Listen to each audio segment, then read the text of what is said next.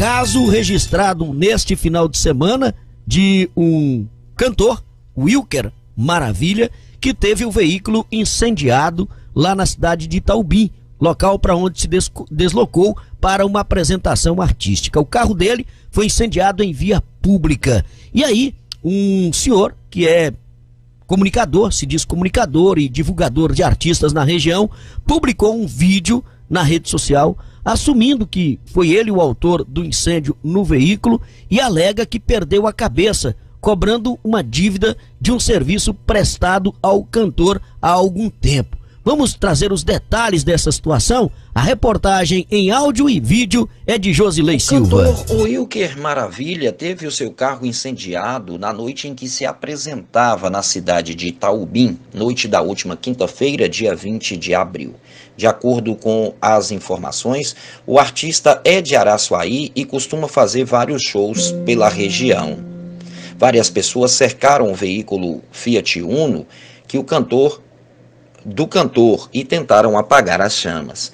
Após o fato, um suspeito foi identificado. Ele gravou um vídeo do próprio celular pedindo desculpas à família e postou a motivação nas redes sociais. Nada justifica nenhum tipo de agressão, nem mesmo a material.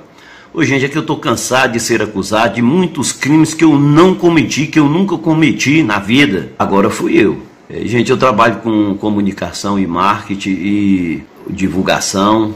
E em junho do ano passado, esse ladrãozinho lá de Araçuaí, o Wilker Maravilha, ele me contratou para fazer um serviço de marketing e divulgação em cima do nome dele aqui em Itaubim, elogiando a praça, que Itaubim é uma cidade muito boa.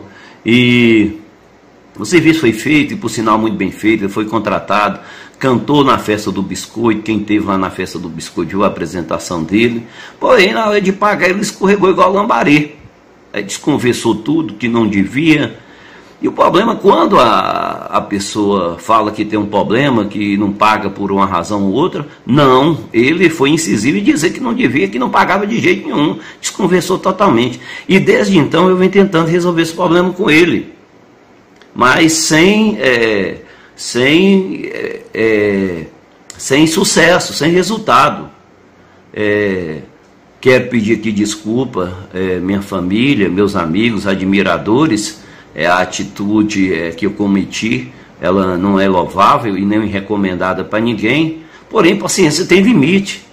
É, eu, eu tenho contas para pagar, eu vivo disso aqui, então é, tem uma hora que a gente explode mesmo. Nada justifica, como eu falei, nenhum tipo de agressão. E o que me deixou mais irritado foi que Itaubim, que era uma cidade linda, maravilhosa, é, quando ele é, se apresentou o ano passado, aí veio colocando defeito, que Itaubim agora não valia mais nada, colocando defeito na cidade e falando não se apresentava mais aqui. E de repente aparece aqui com a cara, a cara mais limpa, como se nada tivesse acontecido.